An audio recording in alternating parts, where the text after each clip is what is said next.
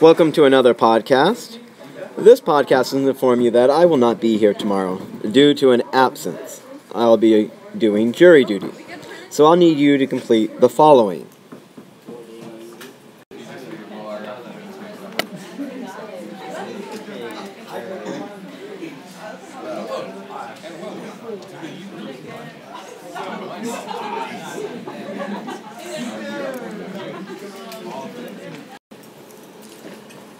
You will be given several sheets where you'll be drawing letters based off the examples on the left.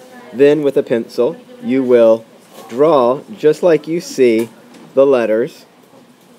Of course, much better than I'm doing.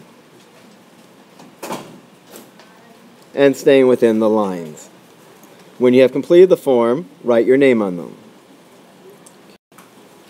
If you do finish, there's one more sheet where you'll make letters out of letter forms from a grid.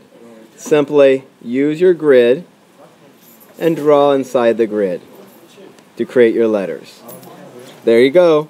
All right, see you back on Wednesday.